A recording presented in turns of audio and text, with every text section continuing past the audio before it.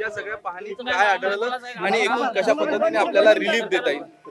नाही असं आहे की खूप मोठ्या प्रमाणात इथे नुकसान झालेलं आपल्याला पाहायला मिळत आहे जनतेमध्ये प्रचंड शेतकऱ्यांमध्ये आक्रोश आहे. मदत ही कुठली मिळाली नाही.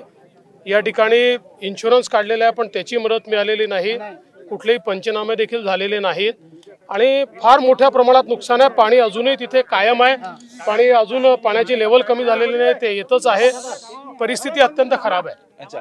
या ठिकाणचं स्थानिक प्रशासन आहे यांच्यासोबत तुमची यापूर्वी काही चर्चा झाली का? आणि एकूण या सगळ्या संदर्भात काय नाही स्थानिक प्रशासनाशी अजून चर्चा झालेली नाही. मी आता पहिले पाहणी करतोय चर्चा करतोय आणि मग त्यानंतर आपण हे करू. कुठतरी तुमच्या दौऱ्याला राजकीय वळण लागते काही ठिकाणी कार्यकर्ते इतर पक्षांचे संतप्त झालेले आहे नाही नाही आज असं कुठेही मला वाटत नाही. तो काही कुठलंही वळण नाही.